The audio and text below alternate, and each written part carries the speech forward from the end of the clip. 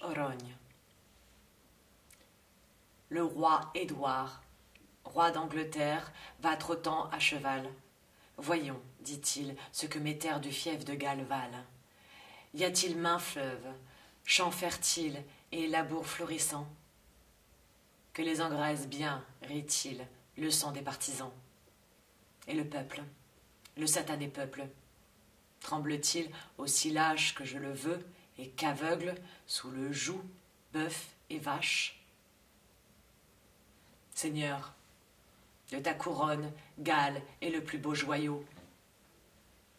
Fleuves, champs, pâtures sans égale t'y paraîtront royaux. Et le peuple, le satané peuple, tremble et trime à souhait, sire. Ce qu'il en reste, sombre vie pleutre, n'a jamais connu pire. Et King Édouard, roi d'Angleterre, va trottant à cheval. Tout alentour se tait, se terre, le silence où qu'il aille. Au château de Montgomery, veut ce soir qu'on festoie. Le seigneur de Montgomery accueille ainsi le roi.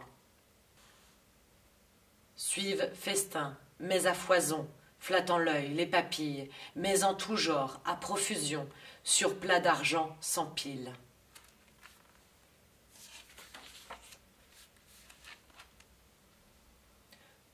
Tout se coffre à boire, à manger, lac, rivage et terre, et tous les vins fins, étrangers, d'au-delà de la mer. Hola, Seigneur, en mon honneur, vous rechignez à boire, vil chien de Gallois, mes seigneurs, pas de longue vie, Édouard. Tout ce coffre à manger, à boire, lac, rivage et terre, vous m'en gavez, mais ma victoire, vassaux. Voulez donc taire Mes suzerains, chiens de faquin, acclamez votre roi, qu'on me louange jusqu'au matin. Viens un barde gallois. Tous les nobles seigneurs de Galles, du regard, se consultent. Leur ire à contre-cœur ravale, blêmissant sous l'insulte. Soudain, silence, chacun se tait, le souffle suspendu, car voici qu'entre, tel blanc ramier, un vieux barde chenu. Me voilà, sire, pour glorifier tes hauts faits, sourds aux larmes. Entends le râle des sacrifiés sous le fracas des armes. Vois le ravage des sacrifiés, le flot de sang versé, tes hordes de pillards fiefés, tels sont, sire, tes hauts faits. Vois le martyr de tant des nôtres, tous ces crimes, ces forfaits, ces infamies où tu te vautres, tels sont, sire, tes hauts faits. Qu'on le jette au bûcher, ordonne, tyran cruel Édouard. Qu'adouchant le suivant s'adonne, vient lors un jeune barde. Doux vent nocturne se lève sur la baie de Milford, mes cris d'enfants et pleurs de veuve s'y mêlent sans démordre. Fille, n'accouchez pas d'un esclave, Mère, n'allait plus nul, le roi, d'un signe, envoie le brave au bûcher l'air incrédule.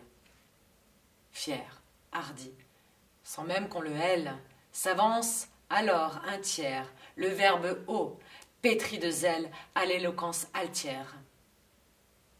Nos preux engorgent tes charniers, mais rappelle-t'en, Édouard, jamais couronne de laurier ne te tressera barde. Leur mémoire hante encore nos cœurs. Or, Édouard, t'en rappelle. Chaque chant gallois te veut malheur, te maudit sans appel. Fille donc. Et King Édouard s'entête à ordonner la mort. Au bûcher, insoumis et traître. Tous les bardes, à mort. La Valtaille en fuite s'évanouit en tout coin du pays. Du festin de Montgomery, c'en est enfin fini.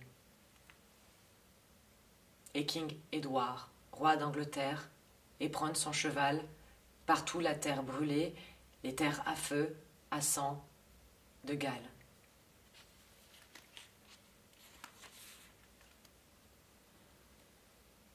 Au bûcher ont péri en chantant cinq cents barres gallois, mais nul n'a lâché pour autant le moindre Vive le roi.